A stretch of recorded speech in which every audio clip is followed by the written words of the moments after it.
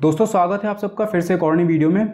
इस वीडियो में हम लोग प्रोबेबिलिटी थ्योरम्स के बारे में बात करेंगे, जैसे एडिशन थ्योरम मल्टीप्लिकेशन थ्योरम और कंडीशनल प्रोबेबिलिटी थ्योरम तो इन तीन थ्योरम्स के बारे में हम लोग इस पर्टिकुलर वीडियो में बात करने वाले हैं और यहाँ पर हम लोग अभी उनका कॉन्सेप्ट समझेंगे और नेक्स्ट वीडियो में फिर जो होगा पार्ट टू इसका होगा, उसमें हम लोग क्वेश्चन करेंगे इन इन थ्योरम्स के ऊपर। अब देखिए जो प्रोबेबिलिटी थ्योरम्स का जो टॉपिक होता है प्रोबेबिलिटी चैप्टर के अंडर में, ये काफ़ी ज़्यादा इंपॉर्टेंट होता है क्योंकि अगर आप हर एग्ज़ाम में देखेंगे तो नॉर्मली ये पूछा जाता है। जो एडिशन थ्योरम हो गई मल्टीप्लिकेशन तो इनसे रिलेटेड कोई ना कोई क्वेश्चन आपको हर एग्ज़ाम में देखने को मिलेगा। जैसे यूजीसी नेट का एग्ज़ाम हो गया, या फिर असिस्टेंट प्रोफेसर हायर एजुकेशन के एग्ज़ाम्स हो गए, ठीक है? या फिर रिसर्च मेथोलॉजी के आप लोग पीएचडी में जब एडमिशन लेने के लिए देते हैं तो वहाँ पर भी प्रोबेबिलिटी से रिलेटेड क्वेश्चन आपसे पूछता ही पूछता है। तो ये थ्योरम्स जो होती हैं, काफ़ी ज़्यादा इंपॉर्टेंट होती क्योंकि इनसे रिलेटेड कई क्वेश्चन होते हैं। मतलब अगर आप कोई भी क्वेश्चन देखेंगे प्रोबेबिलिटी में तो उसमें कहीं ना कहीं इन तीन थ्योरम्स का यूज़ होता ही होता है। तो हम लोग यहाँ पर सबसे पहले स्टार्ट करेंगे एडिशन थ्योरम से। अब एडिशन थ्योरम में देखिए जो स्टेटमेंट आपको दिया हुआ है वो क्या है? If A B and C are mutually exclusive events तो हमारे पास में जो तीन इवेंट्स है ए बी और सी तो ये तीन म्यूचुअली एक्सक्लूसिव इवेंट्स है। म्यूचुअली एक्सक्लूसिव इवेंट कौन से होते हैं? सपोज़ आपने मान लीजिए कॉइन को अगर टॉस किया है तो जब आप कॉइन को टॉस करते हैं तो वहाँ पर आपको या तो हेड मिलेगा या तो आपको टेल मिलेगा। ठीक है? तो म्यूचुअली एक्सक्लूसिव का मतलब ये होता है कि जब आप एक बार उस ट्रायल को कर रहे हैं तो उसमें आपको एक ही इवेंट मिलेगा। ऐसा नहीं होगा कि वो दोनों के दोनों इवेंट एक साथ में आ जाए। अगर आपको हेड मिलेगा तो आपको टेल नहीं मिलेगा, अगर आपको टेल मिल रहा है तो वहाँ पर आपको हेड नहीं मिलेगा। तो ये होते हैं म्यूचुअली एक्सक्लूसिव मतलब अगर एक आता है तो वो दूसरे के आने की प्रॉबिबिलिटी को एकदम खत्म कर देता है। तो इसको हम लोग बोलते हैं म्यूचुअली एक्सक्लूसिव इवेंट अब आगे क्या बोला है? A B and C are mutually exclusive events on a sample space associated with a random experiment then the probability of happening one of them is the sum of their individual probabilities तो अगर आपके पास में तीन mutually exclusive events है A B और सी अब यहाँ पर ये और वर्ड जो लगा हुआ है, इसका ध्यान आप रखिएगा, क्योंकि अभी क्वेश्चन में हम लोग इसी वर्ड के थ्रू ये पकड़ेंगे कि हमको एडिशन थ्योरम को कहाँ पर अप्लाई करना है। तो यहाँ पर प्रोबेबिलिटी ये पी ब्रैकेट ए और बी और सी तो इन तीनों में से किसी एक के होने की प्रोबेबिलिटी इन तीनों इवेंट्स में से किसी एक के होने की प्रोबेबिलिटी जो होगी, वो इक्वल होगी इनके इंडिविजुअल प्रोबेबिलिटीज के सम के, ठीक है? ये जो इन तीन, ये तीन इवेंट्स थे हमारे पास में ए बी और सी इन तीनों में से किसी एक के होने की प्रोबेबिलिटी किसके बराबर होगी? इन तीनों के इंडिविजुअल प्रोबेबिलिटीज के। ठीक है तो ये होता है हमारा एडिशन थ्योरम क्वेश्चन हम लोग इसको समझते हैं, जैसे यहाँ पर देखें। A bag contain five white four black and three yellow and four red ball what is the probability of getting a black or red ball at a random in a single draw of one अब ये क्या बोल रहा है? एक आपके पास में bag है सपोज़ इस बैग के अंदर में पाँच वाइट है, चार ब्लैक है, तीन येलो और चार रेड बॉल्स हैं. तो टोटल नंबर ऑफ़ बॉल्स आपके पास में कितनी हो गई? चार प्लस पाँच पाँच प्लस चार नौ, तीन बारह और चार सोलह. तो टोटल हमारे पास में सिक्सटीन बॉल्स थी और इसमें पाँच वाइट चार ब्लैक तीन येलो और चार रेड थी. अब ये बोल रहा है हमसे कि हमने एक बॉल को इस बैग में से निकाला। अब ये पूछा है कि उसमें जो बॉल आपने निकाली है, उस बॉल के ब्लैक या फिर रेड होने के क्या चांसेस हैं? तो जब भी इस तरीके का क्वेश्चन आपसे पूछता है कि इसके या फिर इसके मतलब ब्लैक और रेड तो इन दोनों में से किसी एक के होने के क्या चांसेस हैं? तो यहाँ पर आपको क्या करना होगा? यहाँ पर आप लिखेंगे प्रोबेबिलिटी ऑफ़ आपको चाहिए ब्लैक तो एडिशन थ्योरम के हिसाब से चलें तो ये हो जाएगा ब्लैक प्लस ठीक है ब्लैक प्लस लिखे या फिर आप इसको और लिख सकते हैं। तो probability of black or red ball probability of black or red ball will be equals to probability of individual probability of black ball plus individual probability of red ball तो अब क्वेश्चन हमारे पास में एकदम सिंपल हो गया। तो probability अगर आप ब्लैक की देखेंगे तो ब्लैक हमारे पास में कितनी बॉल्स थी? चार ब्लैक बॉल्स थी। तो ये हो जाएगा चार अपॉन में टोटल नंबर ऑफ़ बॉल्स कितनी हैं? Sixteen plus probability of red ball red balls हमारे पास में कितनी हैं? वो भी चार हैं। और नीचे टोटल नंबर ऑफ़ बॉल्स हो जाएगा। इस फॉर्मूला को मैं पहले भी आपसे डिस्कस कर चुका हूँ, जो थ्यो अप्रोचेज वाला मैंने वीडियो बनाया था। उसमें मैंने आपको इस फॉर्मूले के बारे में बताया था। प्रोबेबिलिटी का मतलब होता है प्रोबेबिलिटी जो हम मैथमेटिकल अप्रोच से अगर सॉल्व करते हैं तो उसमें क्या होता है? ऊपर होते हैं फेवरेबल इवेंट नीचे होते हैं टोटल आउटकम तो जो आपके फेवरेबल है मतलब टोटल नंबर ऑफ़ बॉल्स हमारे पास में चार थी ब्लैक में और इसमें रेड में भी चार थी और नीचे टोटल हमारे पास में सोलह बॉल थी। तो इसीलिए हम लोगों ने फोर बाई सिक्सटीन और प्लस फोर बाई सिक्सटीन किया हुआ है। तो ये हो जाएगा four by sixteen plus four by sixteen equals to आप करेंगे तो ये होगा एट बाई सिक्सटीन और इसका आंसर निकल करके आएगा वन बाई टू यानी कि ज़ीरो पॉइंट फाइव। तो जब भी आपको और का केस मिलेगा मतलब ये इवेंट या फिर दूसरा इवेंट तो या फिर दूसरा इवेंट तो अगर इस तरीके से आपको स्टेटमेंट दिया हुआ है तो वहाँ पर आप लगाएँगे एडिशन थ्योरम को। नेक्स्ट हम लोग बात करते हैं मल्टीप्लीकेशन थ्योरम की। तो तो यहाँ पर ये क्या बोला है? If A B and C are independent event अब इसका ध्यान रखिएगा इंडिपेंडेंट इवेंट्स का। On a sample space associated with a random experiment then the probability of happening all of them is equal to the product of, is equal to the product of their individual probabilities तो यहाँ पर ये बोल रहा है कि अगर आपके पास में तीन इंडिपेंडेंट इवेंट्स हैं ए बी एन सी ये तीन इंडिपेंडेंट इवेंट्स हैं तो इन तीनों इंडिपेंडेंट्स के एक साथ होने की जो प्रोबेबिलिटी होगी, वो होगी इनके इंडिविजुअल प्रोबेबिलिटी के प्रोडक्ट के इक्वल प्रोडक्ट का मतलब है कि मल्टीप्लाई हो जाएगा। तो यहाँ पर हम लोगों को चेक करना था कि तीन जो इंडिपेंडेंट इवेंट है ए बी और सी इनके साथ में होने की प्रोबेबिलिटी तो एडिशन थ्योरम में हमने क्या देखा था? इवेंट ए और इवेंट बी और इवेंट सी तो या तो ए या तो बी या तो सी तो यहाँ पर लगती थी एडिशन थ्योरम ठीक है? और यहाँ पर जब मल्टीप्लिकेशन थ्योरम में आएगा तो यहाँ पर ये बोलेगा A and B and C तो टुगेदर इन तीनों के साथ में होने की प्रोबेबिलिटी तो ये होगी हमारी मल्टीप्लिकेशन थ्योरम और यहाँ पर हम लोग क्या करते हैं? यहाँ पर हम लोग इंडिविजुअल प्रोबेबिलिटीज़ को इनके मल्टीप्लाई कर देते हैं.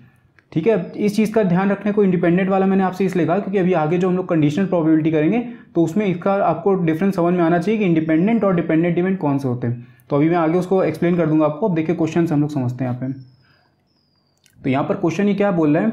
A bag contain ten balls of which five are red three are yellow and two are black and three balls are drawn at random successively with replacement देखिए विद रिप्लेसमेंट का मतलब क्या है? यहीं पर मैं आपको बता दे रहा हूँ इंडिपेंडेंट और डिपेंडेंट इवेंट का क्या मतलब होता है। देखिए एक बैग है, ठीक है? इस बैग के अंदर में यहाँ पर ये बोला है, पाँच रेड बॉल्स हैं, तीन येलो बॉल्स और टू ब्लैक बॉल्स हैं। ठीक है, पाँच रेड हो गए तीन येलो और दो black balls total number of balls हमारे पास में यहाँ पर दस हो गई। अब क्वेश्चन के हिसाब से यहाँ पर ये बोल रहे हैं कि तीन बॉल्स आपने निकाली हैं। तो जब आपने पहली बॉल निकाली, ठीक है, ये आपने पहली बॉल निकाली, ये आपकी फ़र्स्ट बॉल हो गई। तो फ़र्स्ट बॉल जब आपने निकाली, आपने देखा उसका कलर उसके बाद क्या हुआ कि आपने इस बॉल को वापस से बैग में डाल दिया। तो ये होता है विद रिप्लेसमेंट और जब भी इस तरीके का केस होगा कि आपने बॉल को निकाला और उस बॉल को निकालने के बाद वापस से आपने उसमें डाल दिया बैग में तो यहाँ पर जो आपके इवेंट्स होते हैं, वो हो जाते हैं इंडिपेंडेंट तो इस चीज़ का ध्यान रखिएगा, जब भी आपको विद रिप्लेसमेंट का केस मिल रहा है तो वहाँ पर इंडिपेंडेंट इवेंट्स होंगे हमारे। और जब भी इंडिपेंडेंट इवेंट होंगे तो वहाँ पर हम लोग मल्टीप्लीकेशन थ्योरम का यूज़ करेंगे। तो ये तो हमको समझ में आ गया कि इंडिपेंडेंट इवेंट कौन से होते हैं और विद रिप्लेसमेंट अगर दिया तो उसका मतलब जो होता है वो इंडिपेंडेंट ही होता है। ठीक है?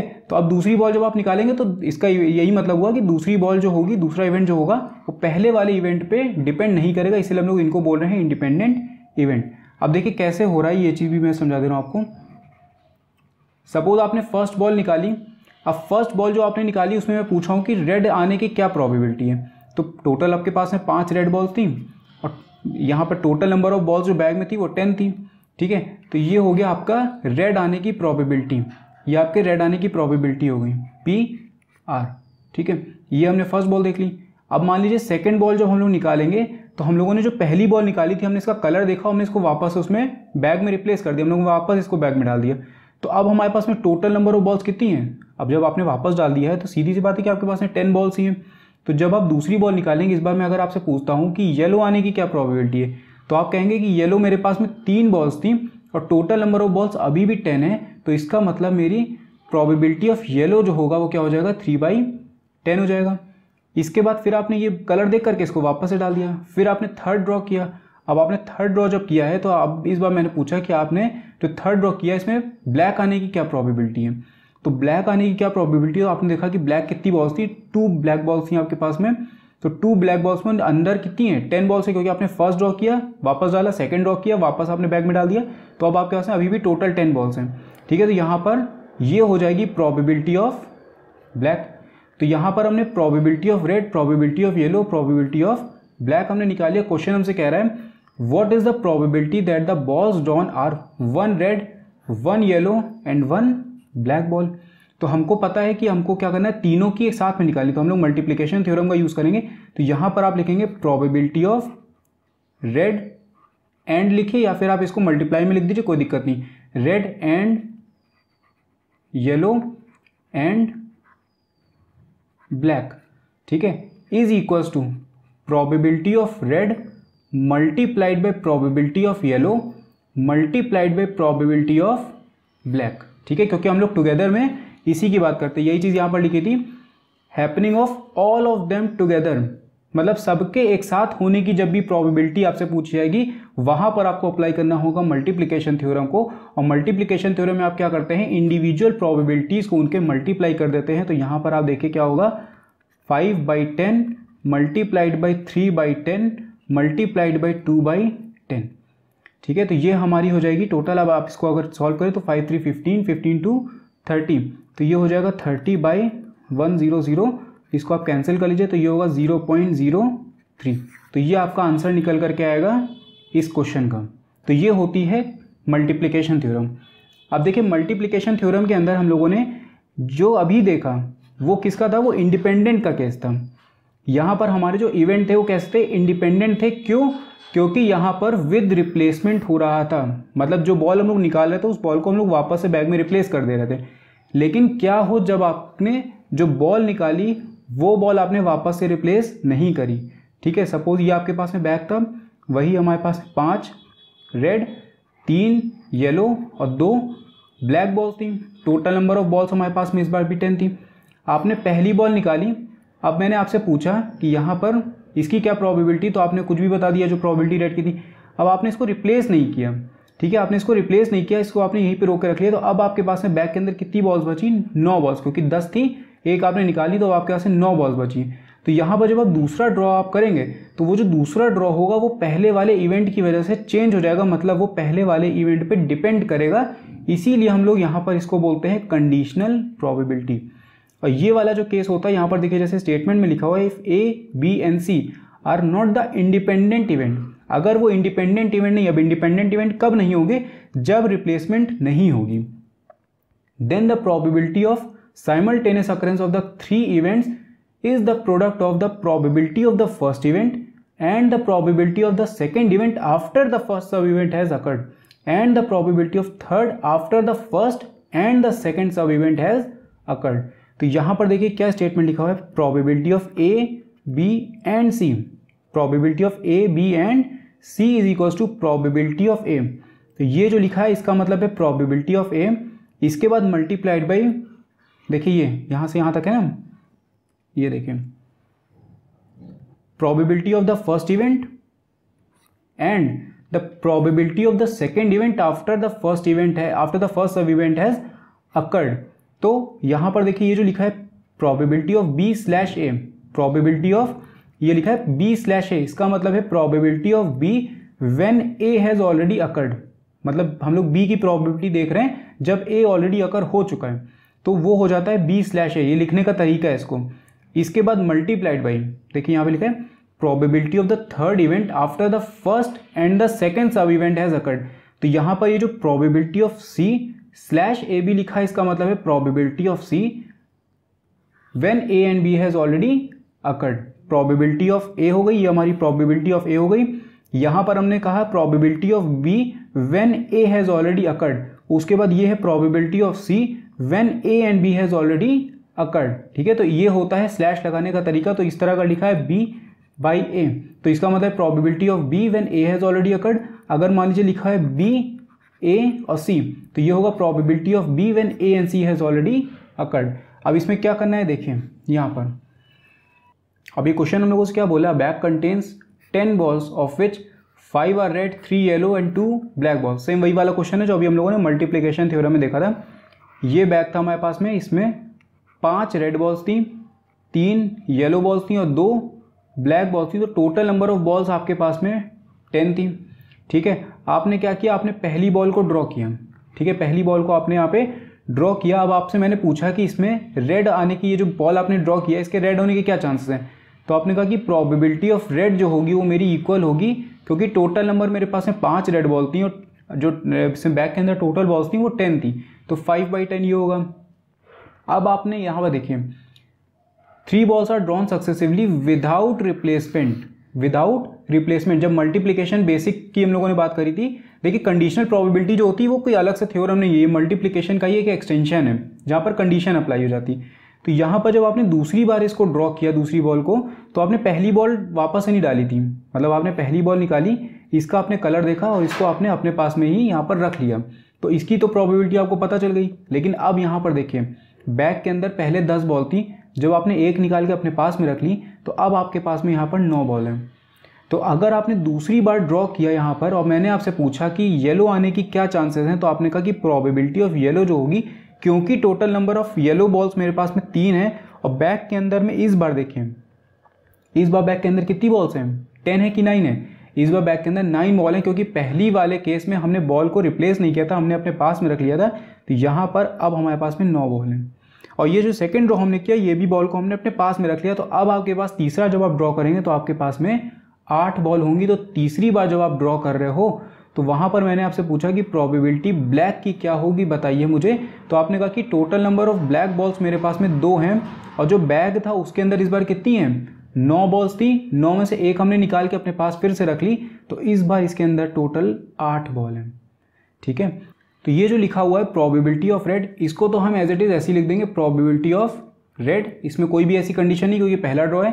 सेकेंड ड्रॉ जो आपने किया, इसको हम लोग अगर और अच्छे से इसमें, इसको डिनोट करें तो ये होगा probability of yellow when red has already occurred ठीक है? Probability of yellow when red has already occurred और जब तीसरा ड्रॉ आपने किया है तो यहाँ पर प्रोबेबिलिटी ऑफ़ हो जाएगी black when red and yellow has already occurred अब आप उसको पूरा आर ई डी रेड करके लिख लीजिएगा येलो पूरा लिख लीजिएगा।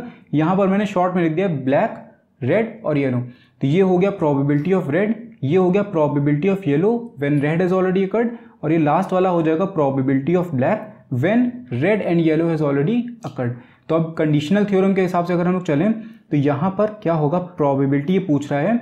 One red one yellow and one black ball लेकिन इस बार क्या है? विदाउट रिप्लेसमेंट है तो हम लोग कंडीशनल थ्योरम को अप्लाई करेंगे। तो ये हो जाएगा probability of red and yellow and black is equals to probability of red multiplied by probability of yellow when red has already occurred multiplied by probability of black when red and yellow has already occurred तो probability of red कितनी थी? Five by ten multiplied by ये क्या हो जाएगा? Three by nine multiplied by black when red red and yellow has already occurred तो ये क्या हो जाएगा? टू बाई एट तो ये हो जाएगा टू बाई एट इसको आप सॉल्व करेंगे तो ये होगा five three fifteen two thirty तो ये तो हो जाएगा थर्टी, डिवाइड में देखिए क्या होगा? Eight, nine, seventy two seventy two multiplied by ten तो ये हो जाएगा सात सौ बीस। तो इसको आप क्रॉस कर लीजिए। तो ये जब कैंसिल करेंगे तो थ्री बाई सेवेंटी टू को भी आप कैंसिल करके डेसिमल में लिख सकते हैं। तो ये हो जाती है हमारी conditional probability theorem so I hope आप लोगों को पूरा जो टॉपिक था थ्योरम्स का, ये समझ में आया होगा। कोई भी तरीके का डाउट हो, आप कमेंट करके मुझसे पूछ सकते हैं। बाकी चैनल को सब्सक्राइब कर लीजिएगा, क्योंकि सेकंड पार्ट जो होगा, उसमें हम लोग कुछ क्वेश्चंस को भी डिस्कस करने वाले हैं इसके। और वो जो क्वेश्चन होंगे वो काफ़ी इंपॉर्टेंट होते हैं एग्ज़ाम पॉइंट ऑफ़ व्यू से। ठीक है तो मैं मिलता हूँ फिर आपसे नेक्स्ट वीडियो में। Thank you